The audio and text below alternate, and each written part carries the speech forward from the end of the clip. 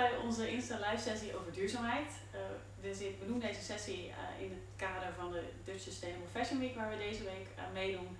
En dat is eigenlijk ook om, ons, uh, om iedereen te laten zien waar zijn we nou precies mee bezig qua duurzaamheid. En Linda en ik, Mariska, zijn met z'n tweeën daar hard mee aan het werk binnen het bedrijf. samen met een heleboel andere collega's ook. En tijdens deze sessie willen jullie eigenlijk daar meer over vertellen. Wat doen we dan precies? Waar lopen we tegenaan? Wat zijn onze uitdagingen? Uh, heel graag beantwoorden ook vragen van jullie. We hebben al wat vragen binnengekregen, die hebben we op kaartjes. Dus daar gaan we zo meteen doorheen. Als jullie vragen bedenken, stel ze alsjeblieft. We hebben ook nog een lieftallige collega achter de camera die ons daarbij helpt. Zodat wij niet de hele tijd op de telefoon hoeven te kijken. Dus dat, uh, daar gaan we mee beginnen. Um, in het kader van communiceer ook de dingen die misschien wat minder goed gaan. Uh, we hebben uitgerekend vandaag gaat onze website er even uit. En het komt omdat we maar aan het verbeteren zijn. We gaan over naar een, uh, een hele mooie nieuwe versie. Maar dat zul je net zien, tijdens deze sessie gaat hij er dus eventjes uit. Dus mocht je daarna op onze website willen kijken om meer te lezen over onze duurzaamheidsreis, dat kan. Maar dan moet je even wachten tot ongeveer halverwege eind van de middag. Dan zijn we weer helemaal paraat. En dus ook een split een nieuwe website. Dus daar kun je dan meteen van genieten. Mag jij beginnen, Lin? Nou, dan ga ik beginnen. Ja, uh, ik ben Linda en ik ben dus ook MVO-manager samen met Mariska bij Essenza. En uh, wij gaan zoveel mogelijk vragen proberen te beantwoorden vandaag. En nou, laat ik beginnen met, uh, met één hele belangrijke vraag. Wat zijn onze duurzame producten? Um, welke duurzame producten hebben we allemaal? Um, we hebben inmiddels op onze webshop een duurzamer, duurzamer label. Dus uh, daar kan je alle duurzame producten onder vinden.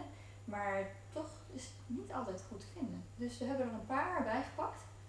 Um, om even te laten zien. We hebben bijvoorbeeld voor Essenza een hartstikke mooie uh, Essenza badstoplijn. Uh, Connect noemen we het. Ja. Um, met verschillende descents erin. En dat is helemaal um, van organic, or, biologisch katoen gemaakt. Uh, GOTS gecertificeerd. Gelijk eventjes een bruggetje, wat houdt dat in? Ja. Dat betekent uh, dat er in de hele keten wordt gekeken naar hoe het product gemaakt wordt. Er worden weinig tot geen chemicaliën gebruikt bij de uh, bij de teelt van de karton. Uh, de kinderhandjes komen er niet aan te pas. Uh, er worden, worden goede prijzen betaald aan de, aan de leveranciers. Um, en dat wordt er door de hele keten heen wordt dat steeds gecheckt. Dus iedere stap die het zet moet, moet weer een nieuw certificaat krijgen. En zo weten wij dat wij een mooi duurzaam product maken. Misschien goed om uit te leggen wat, waar GOTS voor staat. Oh ja, GOTS staat voor Global Organic Textile Standard. Standard. Dus dat is een hele mond vol. Uh, maar uh, zoek het vooral eventjes uh, op, op internet, heel interessant. Je kan het ook hier zien. dit is ook een van onze duurzame producten. Daar kan je ook zien als het een gold certificaat katoen heeft, staat er eigenlijk altijd dit logootje op. Dat is een, het is misschien vanaf de, op Instagram niet zo goed te zien. Maar het is een rondje, daarin staat een wit t-shirtje en daar staat de Global Organic Textile Standard staat er omheen. Dat wil dus zeggen dat het GOTS gecertificeerd is. Uh, dit is meteen ook een van onze duurzame lijnen die we hebben. Dit is Covers Co. En um, alle descents en Covers Co zijn bots gecertificeerd, dus biologisch katoen. En ook geproduceerd bij een van onze fabrieken in Pakistan, waar we straks meer over vertellen. Ik denk, misschien kunnen we meteen wel even vertellen waarom er hier een plastic zakje omheen zit. Nou ja, sowieso kunnen we vertellen dat er, er zit natuurlijk ook karton omheen. Eerst um, een inleekaart zit eigenlijk altijd in ons product om te laten zien hoe het descent eruit ziet en informatie te geven over het product. Dat is bij COTS gecertificeerde producten altijd van FSC-papier gemaakt. Dus dat is ook duurzaam papier. Uh, en er zit nog wel een plastic zakje omheen. Deze is van PP05 noemen ze dat. Dat is een wat dunner plastic zakje. Uh, die is duurzamer dan PVC, zitten minder, uh, geen weekmakers in. Um, en dat moeten we er eigenlijk wel omheen doen. Want het, gaat het product legt een hele lange weg af voordat het bij ons komt. Het komt vanuit, dit product komt vanuit Pakistan. Dat zit een week of vier op de boot. Dan moet het in een truck naar ons magazijn. Uh, daar ligt het soms ook nog eventjes. Hopelijk heel kort voordat het naar de winkels gaat. Uh, dus het moet gewoon goed uh, beschermd zijn tegen de invloeden van buitenaf. Dus het warmte, kou, regen. regen. In Pakistan kan het heel vochtig zijn.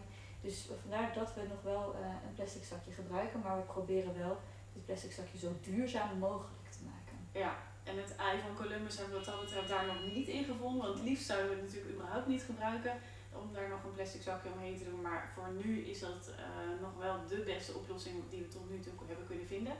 En dan uh, is het dus wel ook een recyclebaar plastic dat er omheen zit. Ja. Uh, nou, Koffers is ook helemaal organic. Uh, en we hebben binnen Essenza ook onze organic producten. De textiel hebben we ook de textiel. Ja. De premium lijn is van biologisch katoen gemaakt.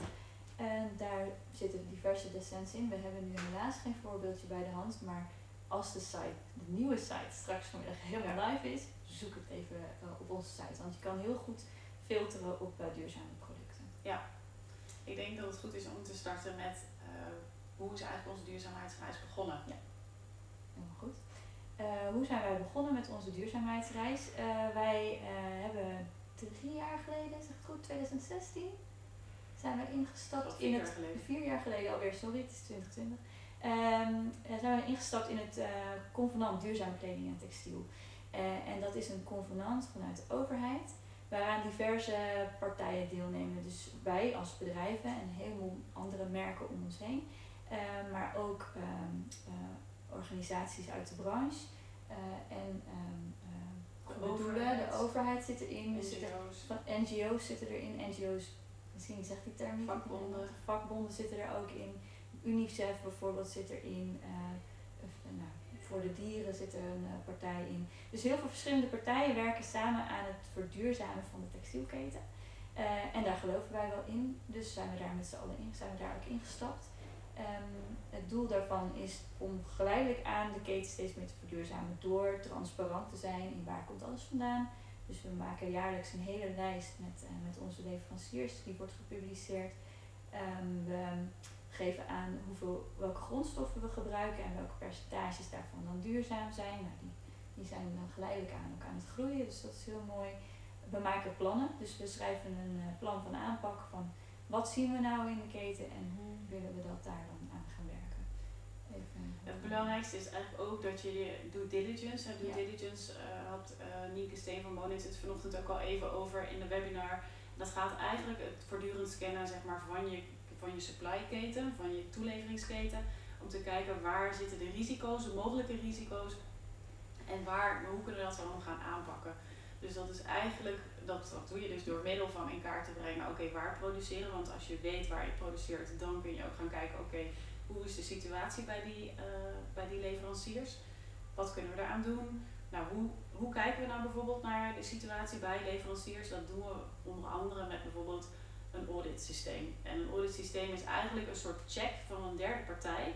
Die gaat dan naar de fabriek toe. En dat kan aangekondigd zijn, dat kan onaangekondigd zijn uh, of semi-aangekondigd. En die gaat daar dan dus kijken op allerlei topics van hoe is het daar gesteld binnen de fabriek. Dus dat gaat op sociale omstandigheden, maar ook op milieuomstandigheden. En daar wordt een heel rapport van gemaakt en daar staan dan ook precies de uitdagingen in die fabriek uh, heeft. En ook uh, een corrective action plan, zoals dat heet, wordt er dan gemaakt. Van wat moeten zij dan doen om daar dus aanpassingen in te maken en dus ook stappen voorwaarts te maken. En dat is dus een van de manieren waarop wij het doen. Uh, daarnaast gaan we ook regelmatig, ja, nu even niet door, door het hele corona, uh, maar regelmatig naar de fabrieken toe. We hebben eigenlijk met bijna al onze leveranciers ook echt een jarenlange relatie. Dus daar helpt ook echt enorm om daar dan samen stappen in te maken. Want je hebt de band heb je al opgebouwd. Dus je kunt daar heel open met z'n tweeën over communiceren, over waarom je het wil. En ook, vooral wat heel belangrijk is, is dat je ook de leverancier in laat zien wat heeft hij eraan om die aanpassingen te maken. Dat is natuurlijk in sommige landen best nog wel eens verschillend. dan heb ik even een voorbeeldje. Uh, bijvoorbeeld, uh, ik was in een fabriek in India en uh, daar worden een deel van ons beddengoed wordt daar bijvoorbeeld geverfd. En daar hadden we een, uh, nog nooit een environmental audit had er plaatsgevonden bij die toeleverancier van onze fabrikant. Toen dachten we, nou dat is wel een belangrijke, dat willen we heel graag laten doen. Dus ik ben daar toen naar afgereisd naar de fabriek uh, ten tijde van die audit. En het was moezonseizoen, dus het regende echt verschrikkelijk hard. En wat was er nou aan de hand? Die eh, mensen gebruiken uiteraard ook chemicaliën in de fabriek. Dat heb je eigenlijk altijd wel nodig als je, als je verft. En dat zijn dan wel chemicaliën waar regels aangesteld zijn goed, die grote vaten stonden buiten, en die waren leeg, stonden buiten, onoverdekt.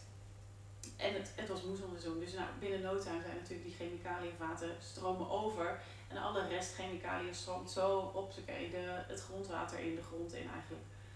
En die mensen hadden daar totaal niet bij stilgestaan dat dat kwaad kon. Want ze dachten, ja, het is toch leeg.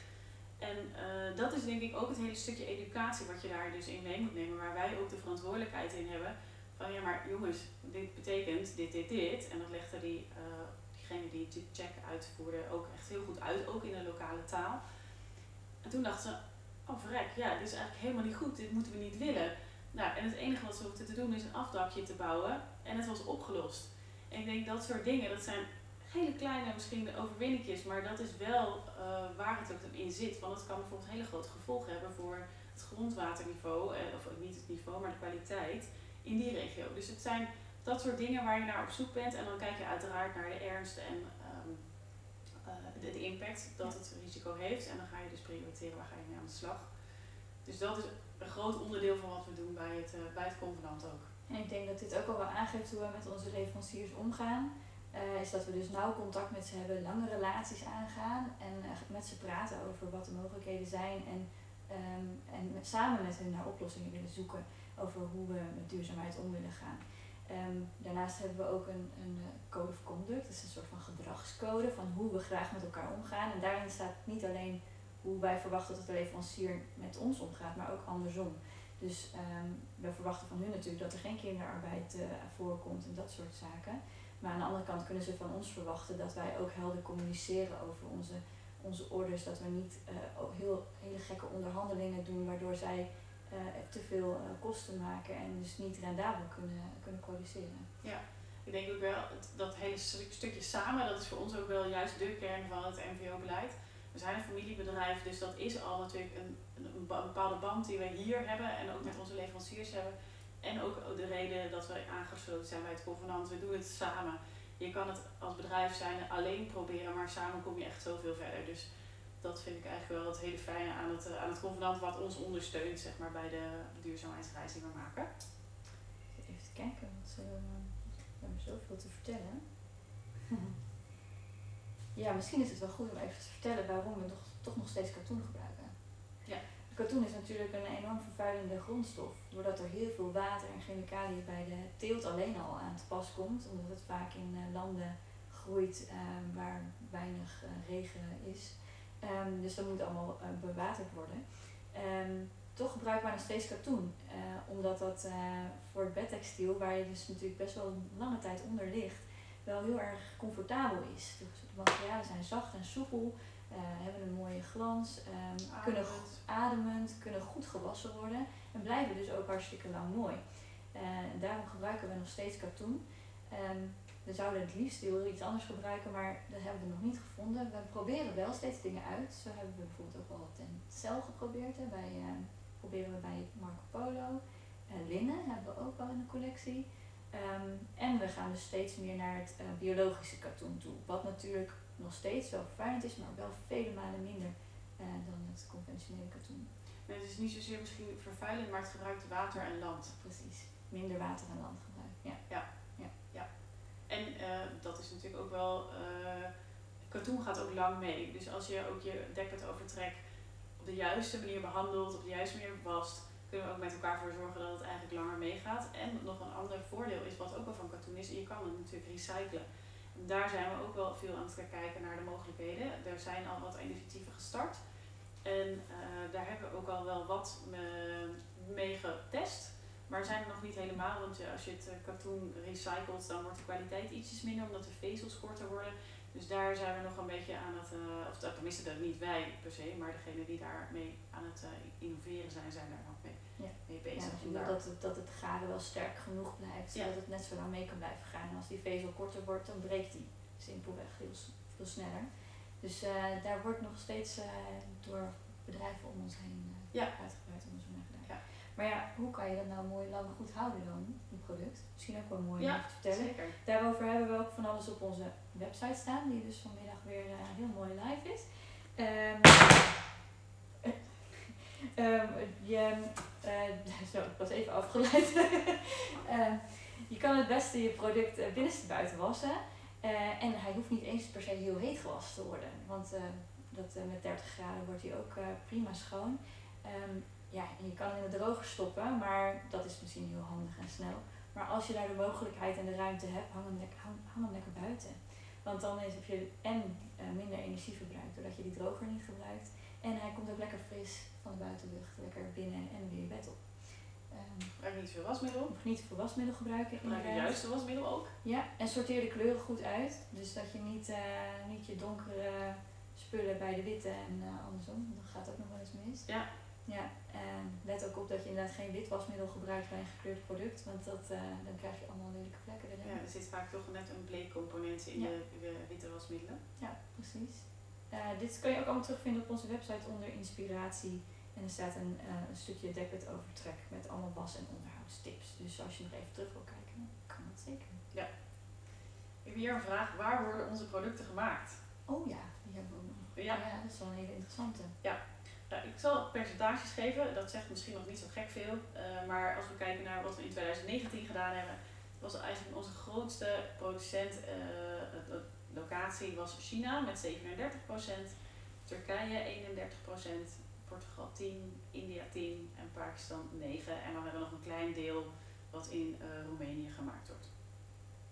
Dus voor ons zijn ook belangrijke landen, dus met name de eerste paar die ik opnoemde, China, Turkije, Portugal, India, Pakistan. Daarom dat het daar ook de meeste productie van ons plaatsvindt. En ehm, we hebben bijvoorbeeld eh, een van de suppliers waar we mee werken is in, Pakistan is voor is Nishat Mills met voor Koffers Co. Dat is het design wat ik net liet zien. En daar hebben we ook al een filmpje gemaakt eh, om te laten zien van hoe ziet dit er nou uit. En waarom hebben we daar nou gekozen om dat in Pakistan te doen? En dat hebben we eigenlijk gedaan omdat Made in Pakistan niet altijd een fantastisch goede naam heeft. Dat is eigenlijk hetzelfde als kleding met Made in Bangladesh. Daar wordt automatisch een associatie bij gemaakt die niet altijd juist is. En wij wilden daar dus juist laten zien, het kan ook echt anders, ook in die landen. En doordat die initiatieven en de fabrieken te steunen waar ze het allemaal goed voor elkaar hebben, is dat eigenlijk een manier om daar ook het verschil te maken in een land. Dus daarom hebben wij bijvoorbeeld voor Koppers Co speciaal gekozen, oké, we gaan produceren in Pakistan en we gaan ook bij een fabriek produceren die het goed voor elkaar heeft. Eh, dat konden we ook eh, staven aan de hand van auditrapporten en eh, bezoeken die we hebben afgelegd. En daar hebben we dus ook een filmpje gemaakt van hoe, hoe, gaat dat nou bij die fabriek. Maar ook hebben we video's gemaakt van hoe is het nou in het land zelf. Want ja, het is een land in ontwikkeling en er zijn ook echt wel ehm, dingen die ze echt nog niet goed op orde hebben. In het land zelf, eh, de, we reden daar bijvoorbeeld langs eh, ka- afwateringskanalen. Nou, dat lag echt vol met afval. En daar moeten ook echt wel nog dingetjes gebeuren. Maar het is wel, als, we daar, als niemand daarmee gaat produceren of eh, niet de goed, juiste initiatieven ondersteunt, dan denk ik dan laten we ze eigenlijk allemaal in de steek. Dat is eigenlijk ook wat ik in dat filmpje al aangeef. Maar dat, dat willen we gewoon allemaal niet. We willen gewoon dat er mensen daar gesteund worden en ook dat we met elkaar het verschil maken. Dus ook wij moeten daar onze verantwoordelijkheid in nemen. Eh, als je dat filmpje nog niet gezien hebt, ga vooral even kijken. Ook op onze website kun je dat zien. Dan zie je ook net even wat meer beeld van Pakistan. En ik vind het, het is een fantastisch mooi land. Het, is, eh, het, heeft, het heeft zijn issues, absoluut. Maar het is ook zeker de moeite waard. En als we over Pakistan hebben, wat misschien ook leuk is om te vertellen, is dat we ja, deze week ook eh, in de Dutch Sustainable Fashion Week hebben we ook nog normaal gesproken wat we al doen bij Koffers Co.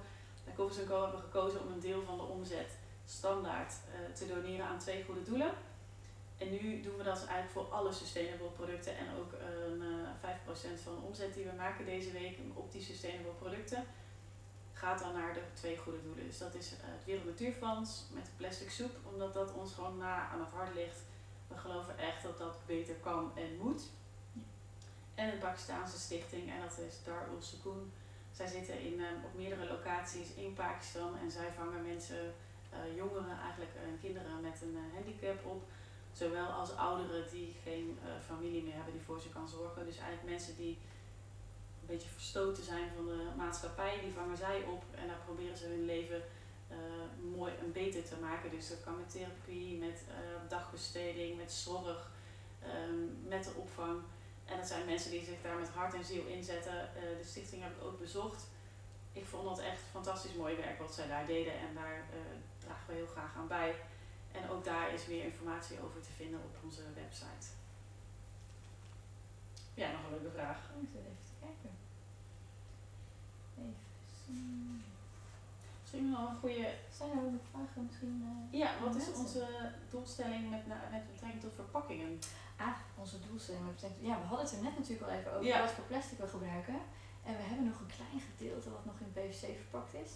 Eh, maar dat gedeelte is heel klein. Want ons doel is dat begin 2021 dat er geen, eh, in ieder geval geen PVC meer in de verpakkingen zit. En dat is natuurlijk een super mooi doel. Want in PVC, ehm, dat zul je misschien niet weten, maar daar zitten bepaalde weekmakers in. Wat ervoor zorgt dat dat plastic heel moeilijk te recyclen is.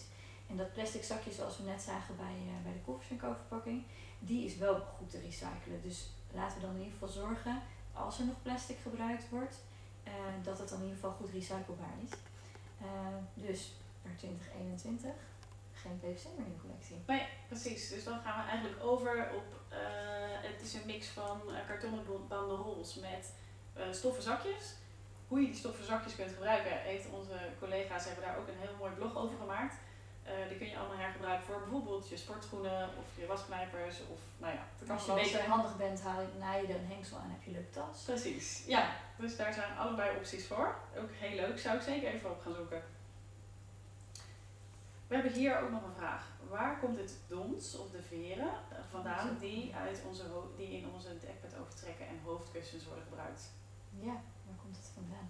Nou, we hebben nu niet zo heel veel meer in de collectie hè, daarvan.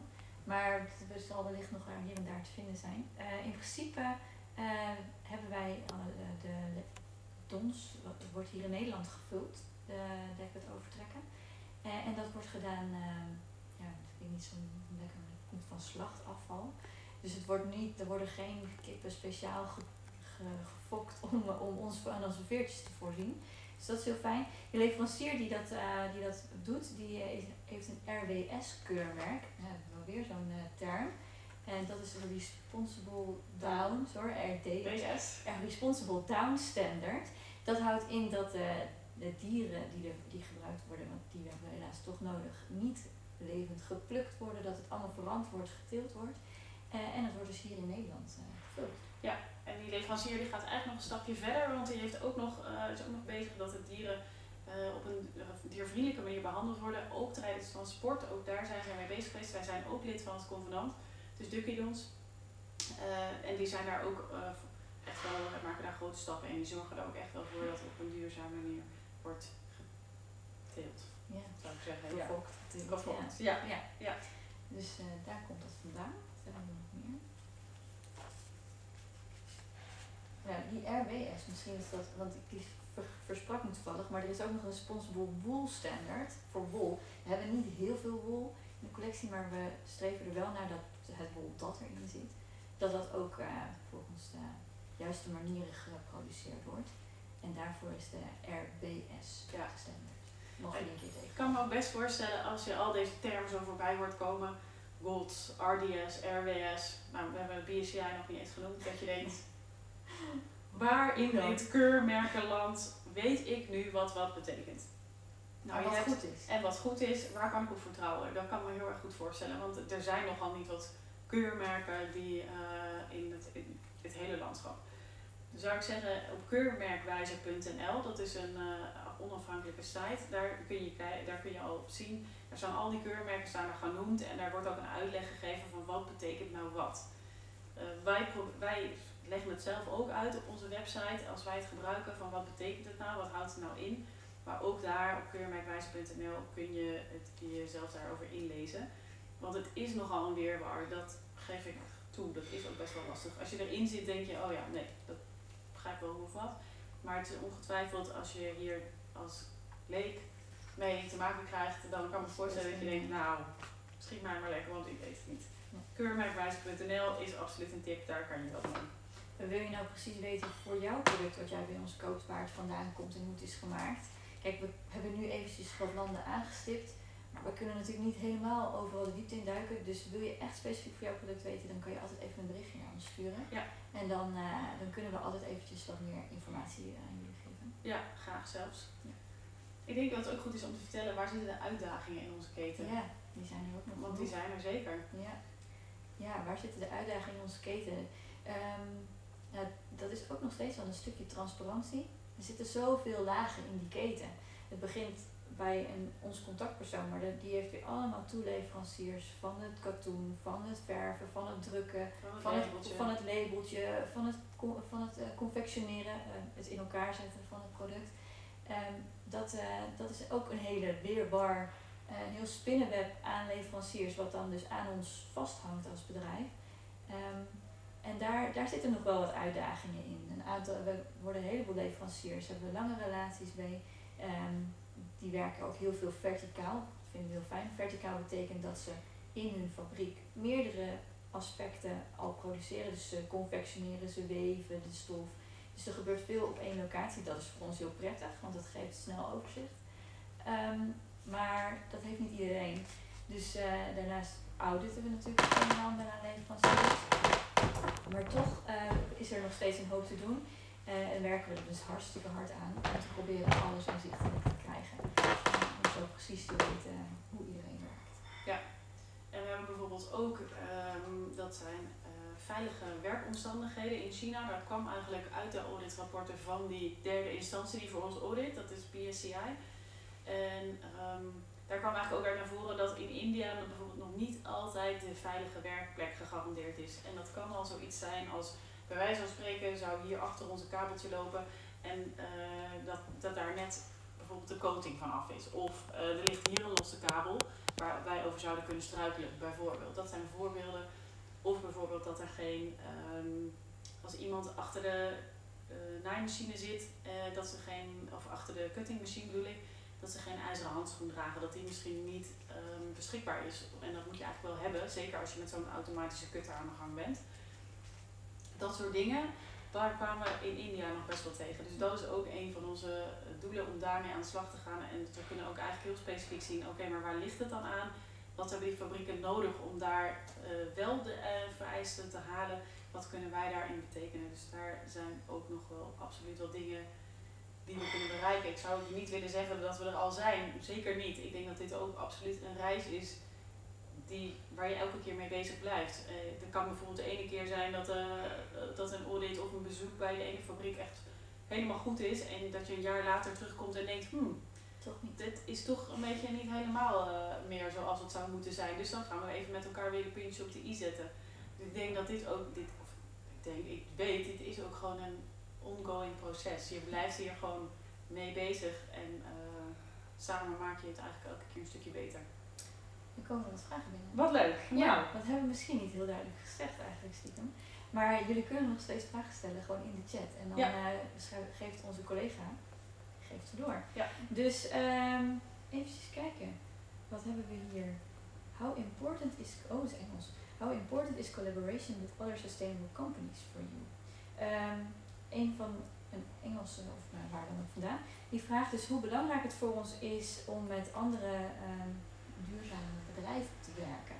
Ja, dat is ontzettend belangrijk. Ja. Mariska gaf het net ook al aan. We kunnen het niet alleen. Nee. We hebben elkaar nodig. We werken allemaal in de landen waar wij ook produceren. Uh, dus we moeten het samen doen. We kunnen niet alleen de, de wereld verbeteren. Nee. En een voorbeeldje is dan bijvoorbeeld uh, als je in één fabriek werkt. Stel, wij werken in een fabriek in China en we merken dat daar bepaalde dingen niet helemaal op orde zijn. Hoe fijn is het dan als je toevallig nog een andere collega in het, in het werkveld hebt, die ook bij dezelfde fabriek zit, waar je dus samen met die leverancier in gesprek kan. Want dat betekent ook dat je een wat meer invloed kunt uitoefenen. Als wij bijvoorbeeld als heel klein klantje bij die fabriek dat aankaarten, maar die fabriek denkt, ja, maar jullie zijn de enige die het aankaarten en dat gebeurt, dat is ook werkelijkheid, um, dan kom je misschien niet zo ver. Terwijl als je met meerdere mensen die toevallig allemaal daar produceren, dat aankaart, dan de kans dat er dan iets mee gebeurt, dan heb je een wezenlijke kans. En daar kun je ook, dan kom je gewoon veel verder samen. Is absoluut heel belangrijk.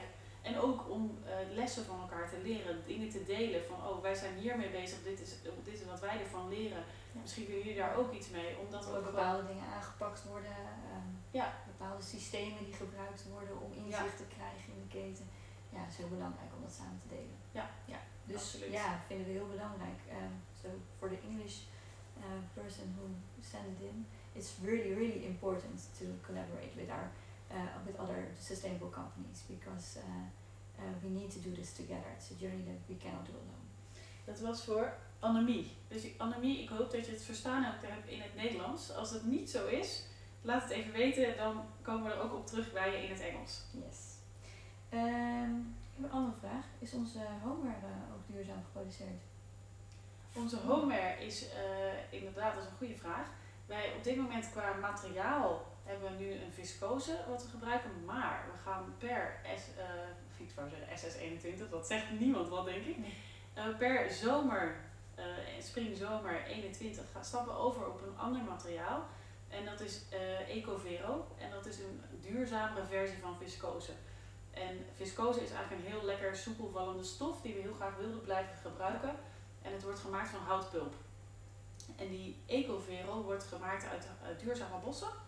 En dat is een bedrijf uh, in uh, Zwitserland die die garens die maakt. En dat is Lenzing. En zij zorgen dus ook dat ze een closed loop hebben, zeg maar, waar de, van de bijvoorbeeld chemicaliën die gebruikt worden. Dus daar gaan, maken we inderdaad een duurzamere stap. En we werken samen met een fabrikant in Turkije die, onze homeware voor, die de homeware voor ons maakt. En het is eigenlijk een heel klein bedrijfje. En um, hij is, uh, dat bedrijfje is niet geaudit. Uh, dus daar is nog wel wat werk aan de winkel. Ja. Maar wat we wel hebben is, uh, de eigenaresse is echt heel erg betrokken, maatschappelijk betrokken bij zowel de werknemers als het milieu als ook de dieren. Zij was bijvoorbeeld afgelopen week zijn een vakantiehuis aan de kust in Turkije. Daar kwam ze erachter dat de, door ook de scholen in Turkije zijn gesloten. Dus ik vind een heel random voorbeeld hoor, maar goed. Uh, daar kwam ze achter dat de scholen gesloten waren en uh, dat de kinderen daar in die omgeving niet naar school konden en ook geen toegang hadden tot systemen waardoor ze wel lessen zouden kunnen volgen. Dus wat heeft zij gedaan? Zij heeft een ruimte geregeld, computers geregeld. Die kinderen kunnen nu de lessen volgen. Dus dat soort dingen, dat, daar is zij ontzettend mee bezig. Er was in het begin dat wij daar produceerden, produceerde zij ook in een uh, atelier in Istanbul. Daar moest je een trapje af en dan kwam je in een soort kelder. Donker. Heel donker, geen daglicht. Uh, als daar iets zou gebeuren, voordat iedereen eruit zou zijn, zou het best wel problematisch zijn geweest. Hebben we ook aangekaart, daar heeft ze ook wat mee gedaan. Er is nu een nieuw atelier geopend. Daar, daar beneden zitten ze niet meer. Ze hebben nu een mooi licht atelier, voldoet aan de eisen. Dus zij is daar zeker mee bezig. Alleen heeft zij dus nog geen officiële audit. Maar de ik vraag denk dat is dit dan. een voorbeeld is van een leverancier waarbij we dus uh, zeggen van ja, je hebt het nu nog niet voor elkaar, maar we kunnen ook naar een ander gaan.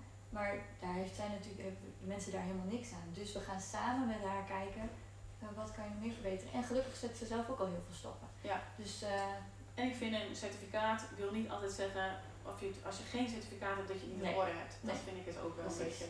Ja, precies. Ja. Eh, even kijken, wat we nog meer? Ja, de risico's hebben we al wel een beetje benoemd, denk ik.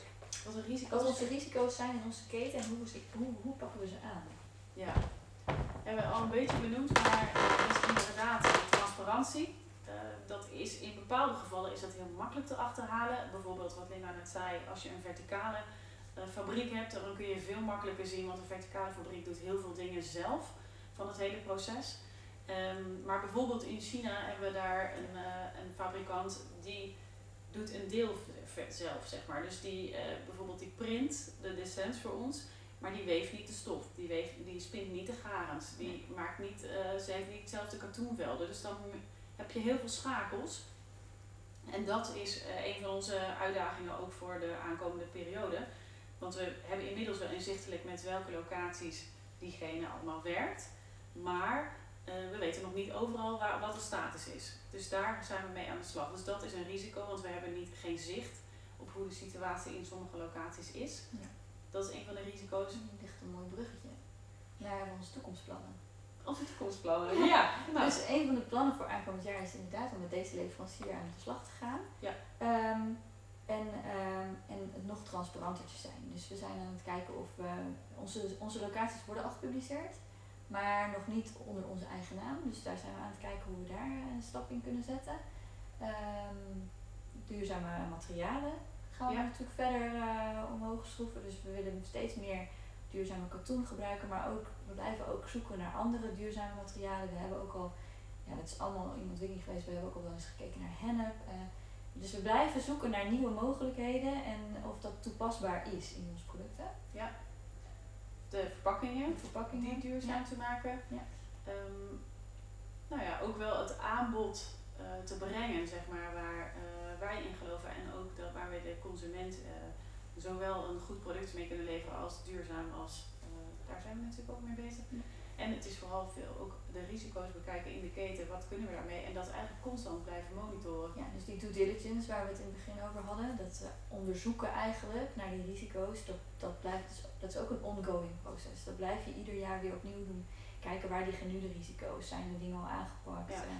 En wat gaan we nu op, oppakken. Dus dat, eh, daar blijven Ja. we continu mee doorgaan. En het zijn ook dingetjes als in van alles wat er op ons pad komt waarvan we denken, hé, hey, daar kunnen we iets mee. Dus bijvoorbeeld ehm, het digitale printen is ontzettend in opkomst.